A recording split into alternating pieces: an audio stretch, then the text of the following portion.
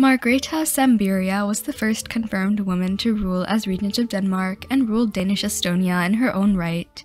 She was born around the year 1230 in Germany to Sambor II, Duke of Pomerania, and his wife, Matilda of Mecklenburg, the daughter of the Lord of Mecklenburg. Through her mother, Margrethe had Danish relations and was named in honor of them. At around the age of 18 in 1248, she was married off to Prince Christopher of Denmark, the youngest son of the former king of Denmark, Valdemar II. Valdemar had died in 1241, passing his throne to his oldest living son, Eric IV.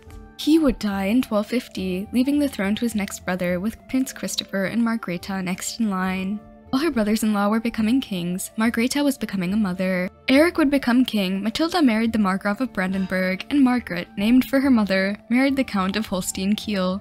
In 1252, Margrethe's husband, Christopher, finally got his chance on the throne of Denmark. As queen, Margrethe involved herself greatly in politics, so she was in the perfect position to become regent when her husband died seven years later. There were rumors of poisoning, but whatever the manner of it was, Christopher was now dead and his and Margrethe's son was far too young to rule on his own. Margrethe was thus named regent for her son Eric until he reached maturity. No other dowager queen had become regent in Denmark's history that we know of before Margrethe.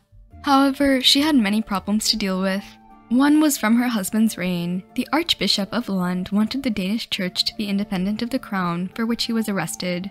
The conflict went on into Margrethe's rule. Another problem was her nephews. Her husband's older brother had had sons, and now their mother, Mechtild of Holstein, was fighting for their right to the throne. In 1261, Margrethe and her son were even imprisoned due to this. The marriage of Mechtild to a Swedish noble and the marriages of Margrethe's nieces to the kings of Norway and Sweden were certainly inconvenient to Margrethe, but she was able to lock her other nieces away in a convent before they found powerful husbands of their own.